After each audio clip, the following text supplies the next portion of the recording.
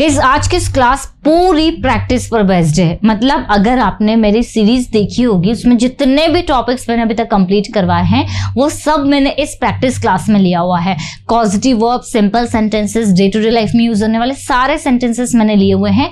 आप बस वीडियो को ऑन करके मेरे साथ बोल बोल कर प्रैक्टिस करिए। आप हर एक सेंटेंस आसानी से बोल पाएँगे। थोड़ा बहुत एक्सप्लेनेशन भी मैं देती रहूँगी बीच बीच में, ताकि आपको थोड़ा सा हिंट मिलती रहे और आप उसको आसानी से ट्रांसलेट करें। सो इस वीडियो पूरा देखना, क्योंकि बहुत अच्छी आपकी प्रैक्टिस होने वाली है। चलिए वीडियो को स्टार्ट करते हैं। लेट्स बिगिन मुझे तुम्हारी मदद की ज़रूरत है तो सेंटेंस होगा I need your help I need your help मतलब मुझे तुम्हारे मदद की ज़रूरत है। अगर हमें बोलना हो, मुझे तुम्हारी मदद चाहिए तो क्या होगा? मुझे तुम्हारी मदद चाहिए. I want your help I want your help मतलब मुझे तुम्हारी मदद चाहिए। सारी चीज़ों का प्रैक्टिस सेशन है है ना? मुझे तुम्हारी मदद चाहिए आई वॉन्ट योर हेल्प मुझे तुम्हारी मदद नहीं चाहिए, मैं खुद अपनी मदद कर लूँगी। मुझे तुम्हारी मदद नहीं चाहिए, मैं खुद अपनी मदद कर लूँगी। तो क्या होगा sentence I don't want your help I don't want your help मैं खुद अपनी मदद कर लूँगी। I will help myself मतलब मैं खुद ही मदद कर लूँगी, ठीक है? तो सेंटेंस क्या बना? I don't want you help I will help myself मतलब मुझे तुम्हारी मदद नहीं चाहिए, मैं खुद अपनी मदद कर लूँगी I will help myself मैं खुद ही मदद कर लूँगी, ठीक है? ओके क्या आपको समझ में आ रहा है? Are you getting yes I am getting क्या होगा? येस आई एम गेटिंग मुझे समझ में नहीं आ रहा है। I am not getting I am not getting मैं समझ चुकी हूँ। मुझे समझ आ गया है या मैं समझ चुकी हूँ? तो आई हैव अंडरस्टूड क्या होगा? आई हैव अंडरस्टूड मैं समझ चुकी थी। पास्ट में चले गया। मैं समझ चुकी थी। I had understood I had understood यह पेन तुम्हें किसने दिया? यह पेन तुम्हें किसने दिया?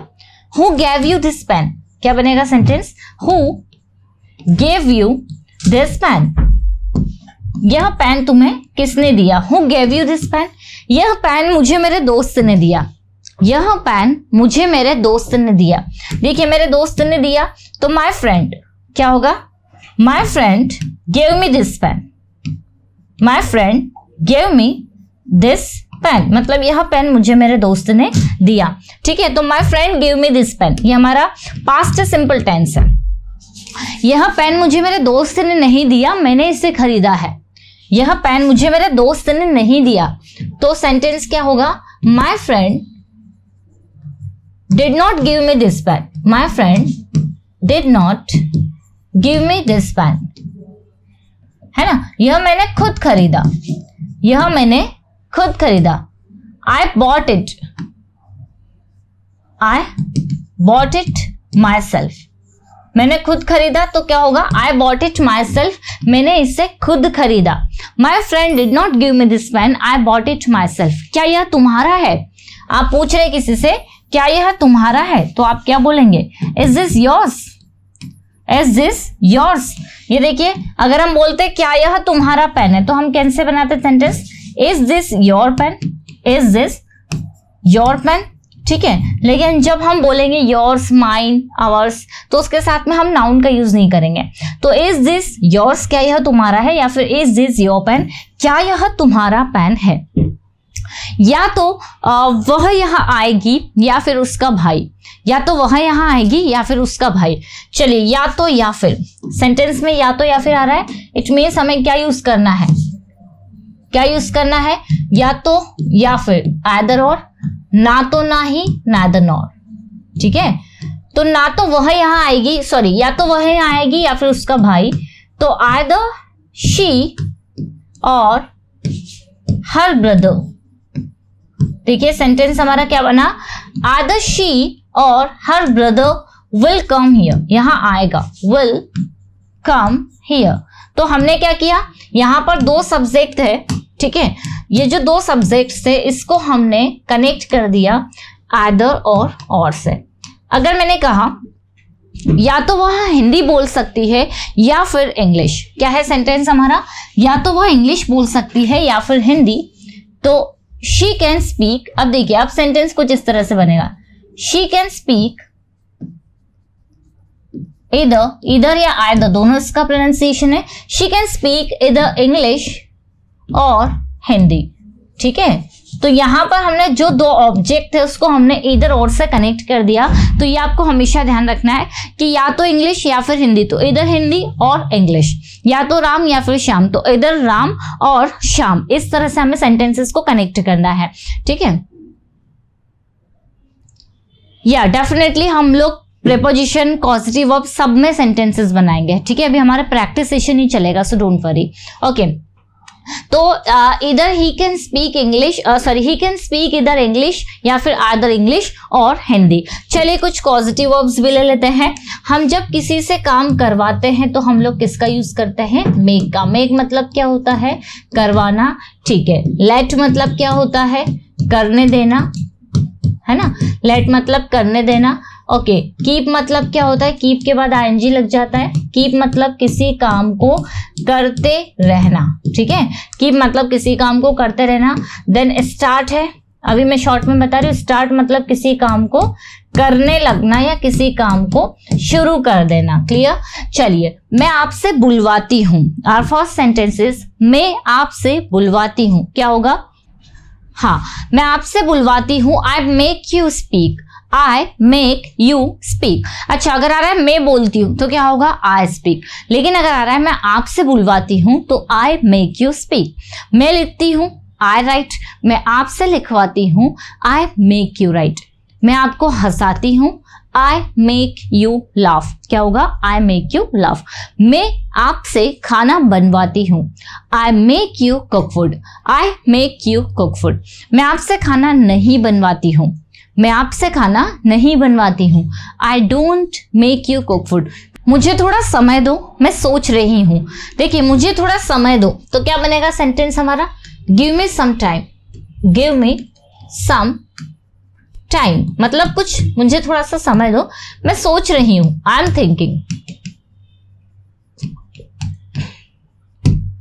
है ना? Give me some time I am thinking मुझे थोड़ा सा समय दो, मैं सोच रही हूँ। क्या आप मुझसे बुलवाते हो? अब है हमारा इंटरोगेटिव सेंटेंस क्या आप मुझसे बुलवाते हो? Do you make me speak क्या होगा?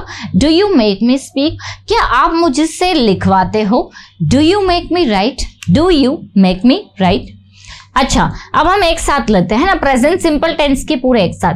मैं आपसे लिखवाती हूँ तो क्या होगा? आई मेक यू राइट मैं आपको लिखने देती हूँ फ़र्स्ट मैं आपको लिखने देती हूँ। I let you write present simple ही ले रहे हैं पहले। आई लेट यू राइट मैं लिखते रहती हूँ। आई कीप राइटिंग क्या होगा? आई कीप राइटिंग मैं लिखने लगती हूँ या मैं लिखना शुरू कर देती हूँ तो आई स्टार्ट राइटिंग क्या होगा? आई स्टार्ट राइटिंग चलिए मैं लिख कर भी बता रही हूँ आपको। जैसे मैंने कहा मैं आप आ, मैं आपसे बुलवाती हूँ ठीक है? मैं आपसे बुलवाती हूँ। तो आई मेक यू स्पीक क्या बना सेंटेंस हमारा? आई मेक यू स्पीक मैं आपको बोलने देती हूँ। अब देखिए, काम करने देते हैं। तो आई लेट यू स्पीक अब क्या बना सेंटेंस हमारा? आई लेट यू स्पीक मैं बोलते रहती हूँ। अब हम कुछ करते रहते हैं। तो आई कीप स्पीकिंग मैं बोलते रहती हूँ तो सेंटेंस बनेगा। आई कीप स्पीकिंग मैं बोलने लगती हूँ तो आई स्टार्ट स्पीकिंग क्या बना सेंटेंस हमारा? आई स्टार्ट स्पीकिंग मतलब मैं बोलने लगती हूँ। मैं बोलने लगती हूँ। अंतर समझ में आ रहा है? मैं करवाते हैं लेट में करने देते हैं कीप में करते रहते हैं स्टार्ट में करने लगते हैं। ठीक है? ओके आप पास्ट का ले लेते हैं। तो मैंने आपसे लिखवाया I made you write I made you write मैंने आपको लिखने दिया तो क्या होगा? I let you write I let you write okay मैं लिख आ, लिखते रही. अब पास्ट है. मैं लिखते रही. तो सेंटेंस क्या बनेगा? आई केप्ट राइटिंग सेंटेंस बनेगा आई केप्ट राइटिंग मतलब मैं लिखते रही. और मैंने लिखना शुरू कर दिया. आई स्टार्टेड राइटिंग क्या होगा? आई स्टार्टेड राइटिंग मतलब मैंने लिखना शुरू कर दिया. ठीक है? ओके okay, मैंने पढ़ाना शुरू कर दिया। I started teaching I started teaching मैंने उसे जाने दिया। आई लेट हिम गो क्या होगा? आई लेट हिम गो मैंने उसे जाने दिया। मैंने उसे नहीं जाने दिया। मैंने उसे नहीं जाने दिया। I did not let him go I did not let him go मैंने उससे पढ़ाई नहीं करने दी। मैंने उससे पढ़ाई नहीं करने दी। I did not let her या फिर I did not let him study मतलब मैंने उससे पढ़ाई नहीं करने दी।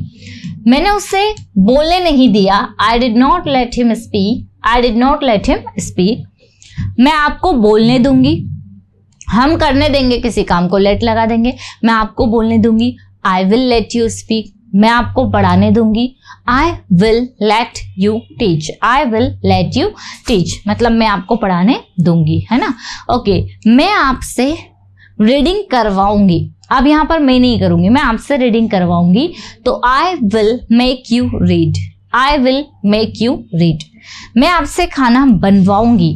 देखिए, काम करवाएँगे फ्यूचर में, मैं आपसे खाना बनवाऊँगी। I will make you cook food I will make you cook food मैं आपको खाना बनाने दूँगी। अब है, मैं आपको खाना बनाने दूँगी।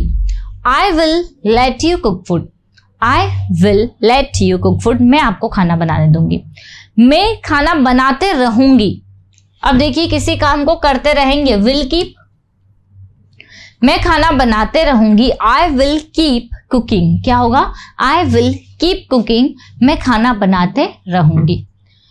मैं खाना बनाना शुरू कर दूँगी। I will start cooking I will start cooking मतलब मैं खाना बनाना शुरू कर दूँगी। ठीक है? I will start cooking okay वह यहाँ आना शुरू कर देगी. She will start coming here she will start coming here वह यहाँ आना शुरू कर देगी. आ रहा है समझ में? ओके मैं बोलना शुरू कर दूँगी. I will start speaking I will start speaking मैं आपको गाना गाने दूँगी. I will let you sing a song मैं आपको गाना गाने दूँगी तो सेंटेंस हमारा क्या बनेगा? I will let you sing a song मैं आपको गाना नहीं गाने दूँगी। मैं आपको गाना नहीं गाने दूँगी। I will not let you sing a song I will not let you sing a song मतलब मैं आपको गाना नहीं गाने दूँगी। क्या आप मुझे गाना गाने दोगे? क्या आप मुझे गाना गाने दोगे? Will you let me sing a song will you let me sing a song हाँ ओके चलिए तो वह हँसते रहता है। ही कीप्स लाफिंग वह रोते रहता है ही कीप्स क्राइंग वह रोते रहता है ही कीप्स क्राइंग